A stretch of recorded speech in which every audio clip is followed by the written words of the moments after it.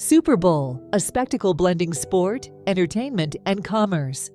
Originally birthed from the merger of the NFL and its then rival, the AFL, in 1966, the Super Bowl has grown exponentially in stature and influence. What began as a simple championship football game has transformed into a global phenomenon, drawing millions of viewers and generating staggering revenues. The advertising slot during the Super Bowl broadcast is the most coveted in the industry, with brands paying millions for a few seconds of airtime.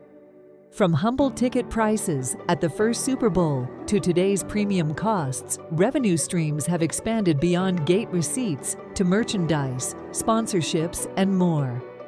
The halftime show, once a modest entertainment break, has evolved into a major production featuring international superstars, further elevating the event's profitability and appeal.